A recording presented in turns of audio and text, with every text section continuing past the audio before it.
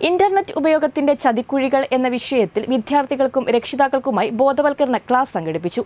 നായർക്കുഴി ഹൈസ്കൂളിലെ കുട്ടികൾക്കും രക്ഷിതാക്കൾക്കുമായി സംഘടിപ്പിച്ച പരിപാടി sub judge M P Shaijal ഉദ്ഘാടനം ചെയ്തു.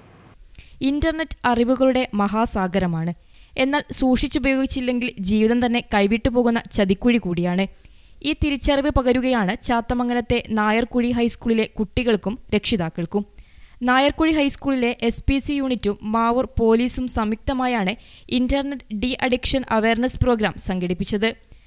സ്കൂൾ ഓഡിറ്റോറിയത്തിൽ നടന്ന ബോധവൽക്കരണ class sub judge M P Shaijal ഉദ്ഘാടനം ചെയ്തു. ഈ അടുത്ത കാലം വരെ നമ്മളെല്ലാവരും ആദ്യം ബ്രഷ് എടുത്ത് പല്ല് തേക്കുകയാണ് ചെയ്തിരുന്നതെങ്കിൽ ഒരു ചടങ്ങിൽ സംസാരത്തിനിടയിൽ സൂചിപ്പിച്ചപ്പോൾ ആദ്യത്തെ പ്രവൃത്തിയായിട്ട് ബ്രഷ് എടുത്ത് പല്ല് തേക്കുന്നതിനെ കുറിച്ച് പറഞ്ഞപ്പോൾ ആരോ പറഞ്ഞു ഇപ്പം അല്ല എടുക്കുന്നത് ആദ്യം മൊബൈൽ ഫോണാണ് എടുക്കുന്നത്. ചില ആളുകൾക്ക് മൊബൈൽ ഫോൺ എടുത്ത് ഉപയോഗിക്കാൻ വേണ്ടി രാവിലെ തന്നെ എടുക്കുന്നത് കണ്ടാൽ തോന്നും. ഇന്ത്യ രാജ്യത്ത് ഭരണ സംവിധാനം മുന്നോട്ട് പോകണമെങ്കിൽ നിങ്ങൾ രാഷ്ട്രപതിക്ക് അല്ലെങ്കിൽ പ്രധാനമന്ത്രിക്ക് നിങ്ങളുമായിട്ട് ഓൺലൈനിൽ ചാറ്റ് ചെയ്താൽ മാത്രമേ കാര്യങ്ങൾ മുന്നോട്ട് പോകൂ എന്ന തോന്നലൊക്കെയാണ് ആളുകളുടെ തിരക്ക് കണ്ടാൽ ഫോണുകളുടെ പിന്നാലെ ഓടുന്നത് കണ്ടാൽ.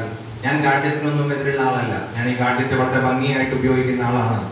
എന്റെ ഓരോ ചലനവും ഈ ഗാഡ്ജറ്റിലൂടെയാണ്. Mavoor police inspector K Vinodan അധ്യക്ഷത വഹിച്ചു. Senior clinical psychologist doctor Sandeesh class എടുത്തു. മിണ്ടാതെ കിടന്നു. എന്ത്? അതോടുകൂടി ഞാൻ പതുക്കെ എഴുന്നേറ്റ് ഇങ്ങനെ കഥകളൊക്കെ തുറന്ന് നോക്കി. എന്താ സംഭവം? അപ്പോൾ ഉടനെ കൂട്ടുകാരന്റെ അനുജൻ. ഓക്കെ ഞാൻ അപ്സ്റ്റേറിലാണ് താഴെ ഡൈനിങ് ഹാളിൽ ഇരുന്നിട്ട് എന്ത് ചെയ്യാണ്? എന്ത് ചെയ്യുമായിരിക്കും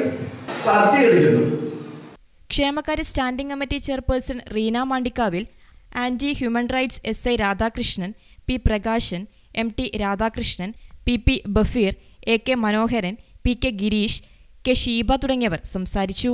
News bureau Mavoor.